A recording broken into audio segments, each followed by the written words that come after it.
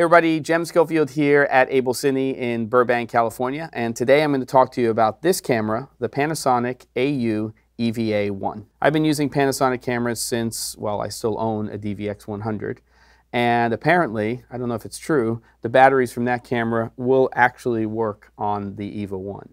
But what is it about this camera that makes it unique? Well, number one, it's under $7,500 US for a Super 35 millimeter uh, sensor-based camera and it is a 5.7K sensor. So there's a, a, sensor in here that is considerably larger than our resolving resolution, which will normally be either DCI 4K, 4096 by 2160, or UHD, which is 3840 by 2160. It is also designed in a way that everything is part of the camera body itself.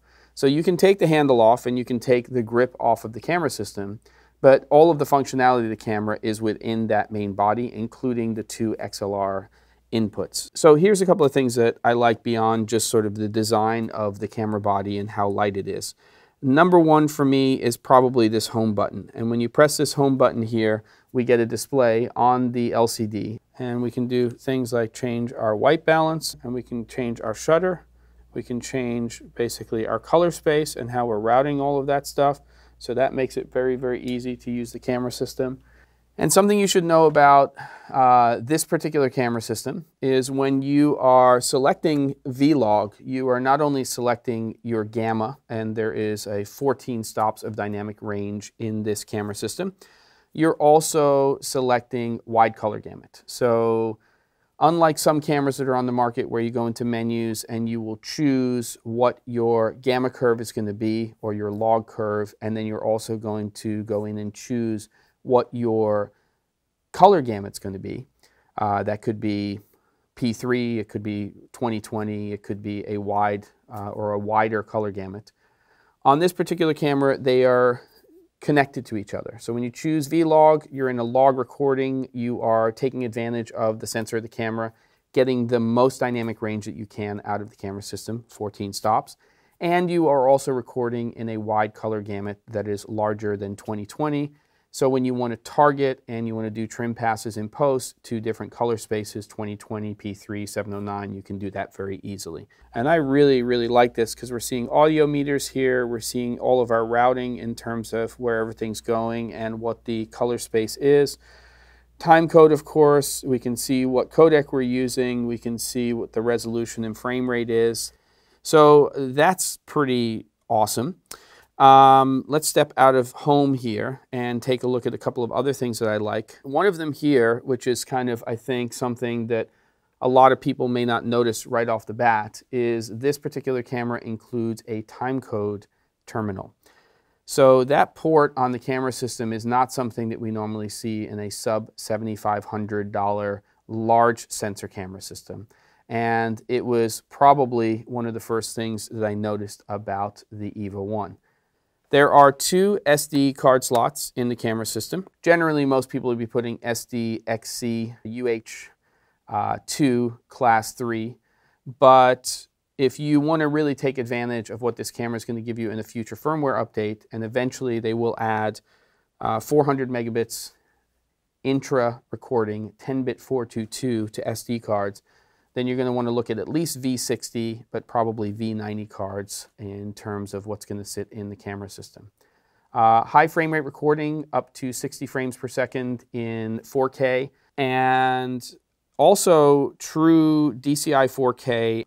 So I'm going to go in here to my system settings, and if I go into system mode, uh, we're just going to take a look at that. We have our frequency, and you can see that this is a true world camera here. And right now I have it set to 2398. And down here under main pixel, we can see the different resolutions that we can choose with the camera.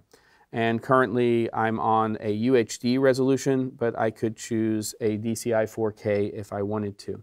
So that would just switch over to DCI 4K.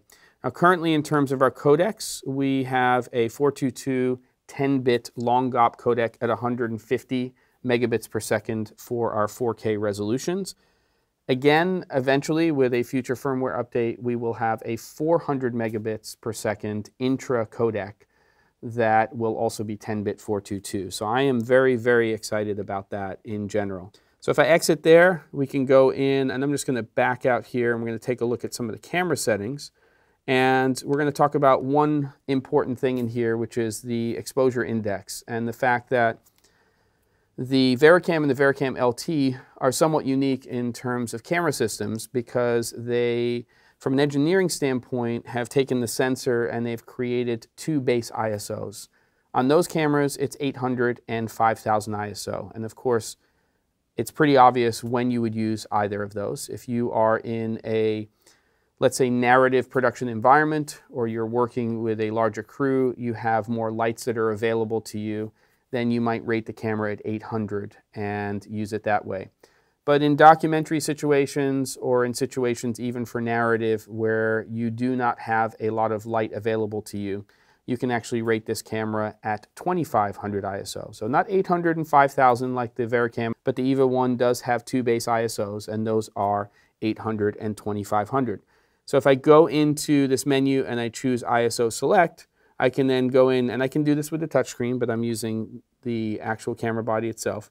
And I will now choose my 2500 base ISO. And when I go in here now, I can change that ISO from 1000 in its, uh, in its default all the way up to 25,600 ISO.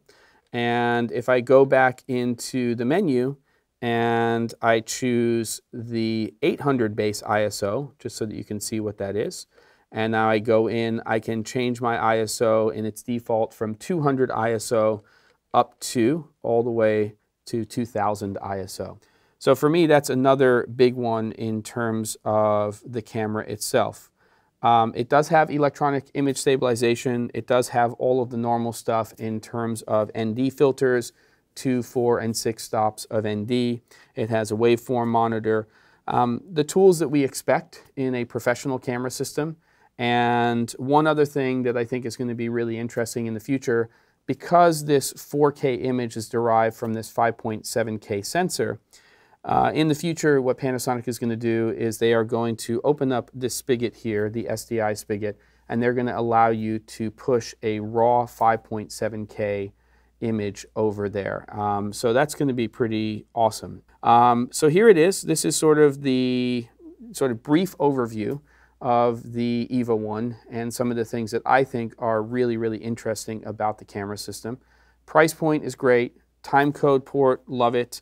The fact that we're going to get an all-I uh, high bit rate 10-bit 422 codec that we can shoot in 4K internally to SD cards to me is really special in terms of the camera system.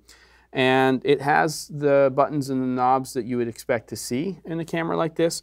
And more importantly, I like the image that I'm seeing. I like V-Log and it's giving us that 14 stops of dynamic range, that wide color gamut. There are already plenty of LUTs on the market right now that you can apply to V-Log because the VariCam and the LT have been out for so long.